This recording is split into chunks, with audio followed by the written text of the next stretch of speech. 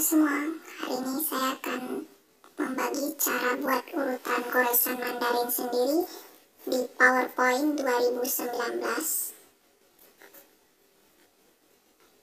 dan jangan lupa untuk subscribe lonceng subscribe, like, share channel ini. Oke pertama-tama kita buka PowerPoint. Kita insert word art. Misalnya tulisan shall kita ganti fontnya menjadi Kaiki diperbesar.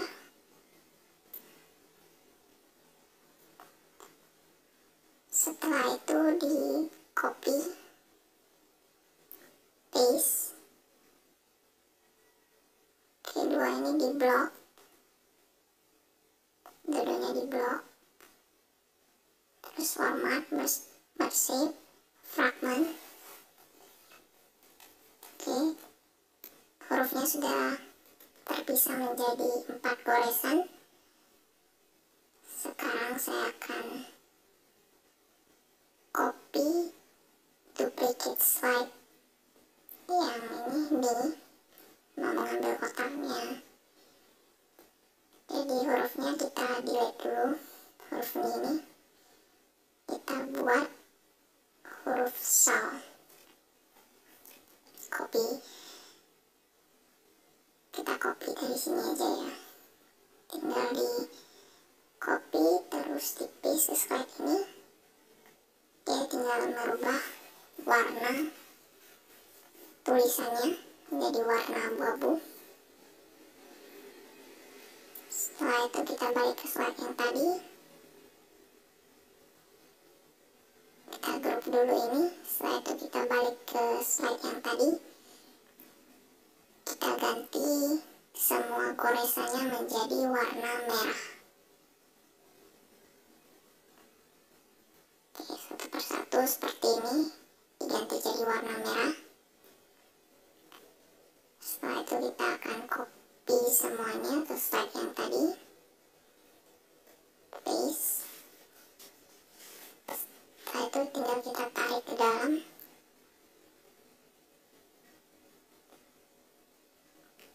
akan membuat efek dari urutan goresannya satu persatu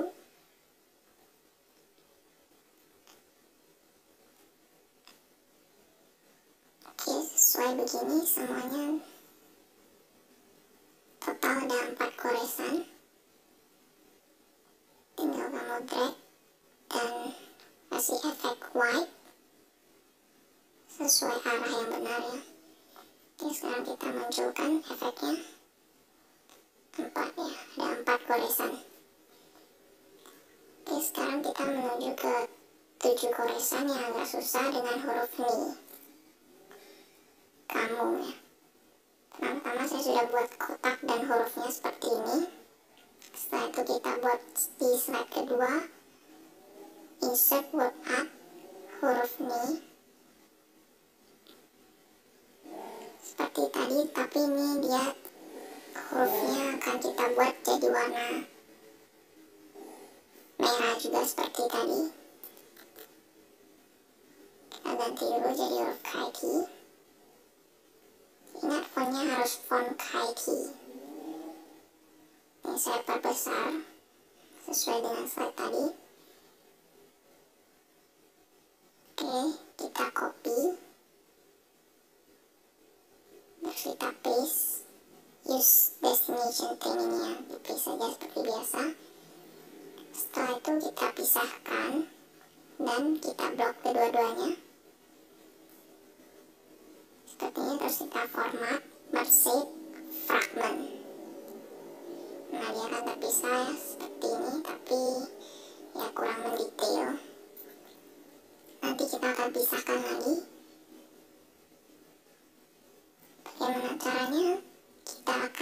insert shape. Freeform shape ya. Kita klik terus kita akan buat bentuk bebas. Tapi yang di pas di ujungnya itu kita harus tepat ya begini. Untuk fragmen dia nanti ya sesuai dengan goresan menyatu tadi supaya dipisahkan kita akan blok duanya kita fragment lagi. Nah setelah itu ada dua goresan dua ya udah terpisah ya. Tinggal kita copy paste ke slide pertama. Kita dapat goresan pertamanya ya P setelah itu su kita copy paste lagi ke slide pertama. Terus kita drag ke posisi yang benar. Satu persatu ya. Jadi ini karena tujuh goresan jadi dia agak susah. Jadi semakin banyak goresannya ya semakin susah juga buat urutan goresannya ya. Oke, begitu juga dengan goresan selanjutnya, goresan ketiga, kita akan pakai shape lagi. Freeform shape. Terus kita gambar lagi sesuai dengan tadi. Untuk memisahkan ya. Jadi intinya di uh, posisi itu yang melekat itu yang anda harus perhatikan ya. Di selain itu ya nggak penting harus sesuai ya.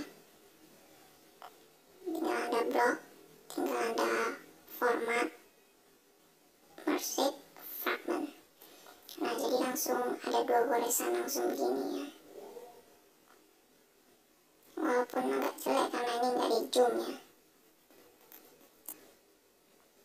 Oke, selanjutnya tinggal di copy lagi pastekan ke slide pertama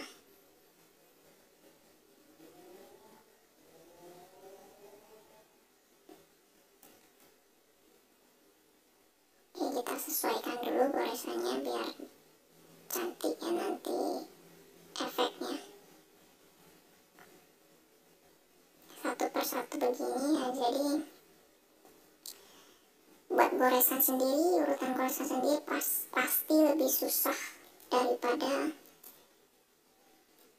kalau mau paste punya orang lain ya. Oke ya selanjutnya ini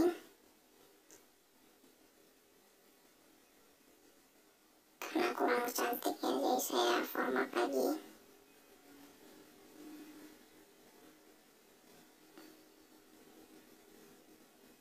buat shape fragmentnya jadi intinya caranya cuma begitu. Tinggal anda ulang-ulang. Oke tinggal di drag. Begini ya sisanya tinggal huruf shell ini tinggal kita ganti warnanya. Semua jadi warna biru. Biar dia nanti di paste ke slide satu jadi sama semua. Oke setelah itu di copy semua. Pindah ke slide pertama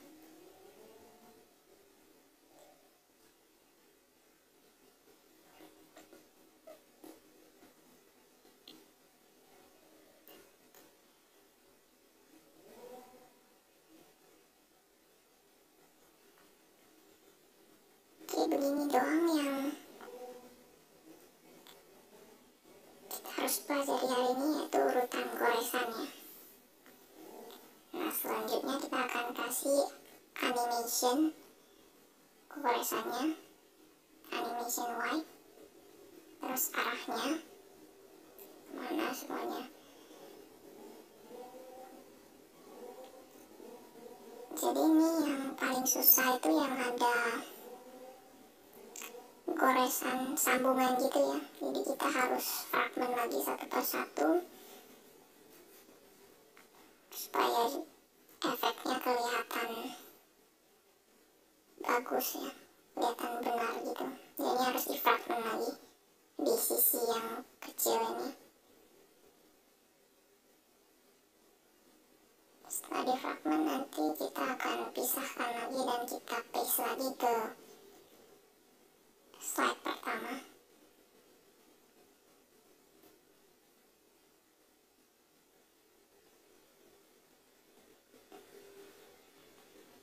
jadi intinya harus rajin-rajin juga buat ngefragment begini ya. Jadi di sini saya akan hilangkan set outline-nya. Supaya kelihatan cantiknya seperti ini. Kita satu animationnya white dan arahnya ke bawah dan efek optionnya kita pakai uh, with previous atau after previous nanti bisa di setting. Nah ternyata ini juga harus di fragment lagi.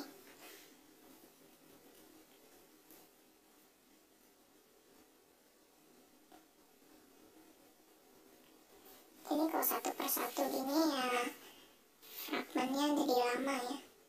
Jadi kalau dia hurufnya pakai goresan dasar yaitu bakalan gampang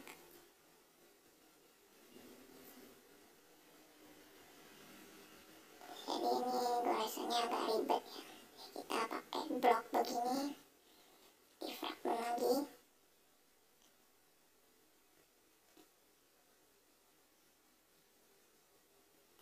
fragment kita pindahkan lagi ke slide pertama copy terus paste setelah itu taruh lagi di tempat yang tidak ke tempat yang sesuai terus outline-nya dihapus kasih animation kasih animation white terus arahnya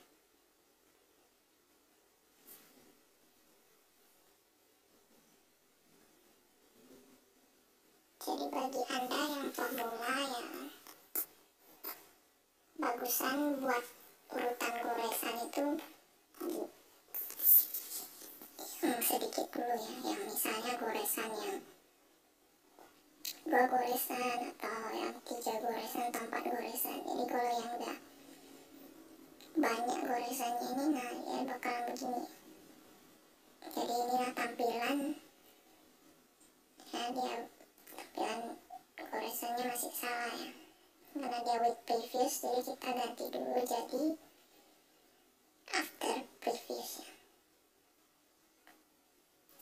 nah nanti jadinya baru benar after previous yang seperti ini hasilnya.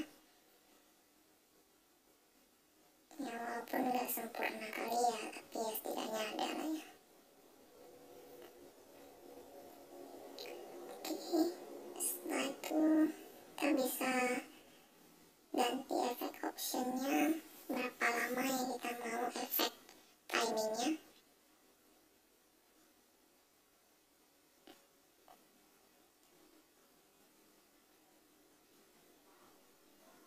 Supaya dia jangan terlalu cepat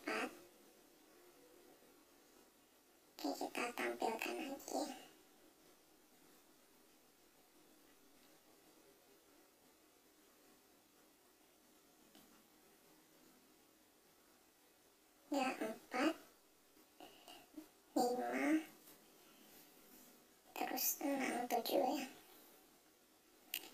Ini kira-kira begitu. Ya semua ini yang di slide 2 ini bisa anda hapus tapi bisa juga anda simpan biarin aja ya. Oke sekian video saya. Jangan lupa untuk subscribe karena subscribe itu gratis. Terima kasih. See you in the next video.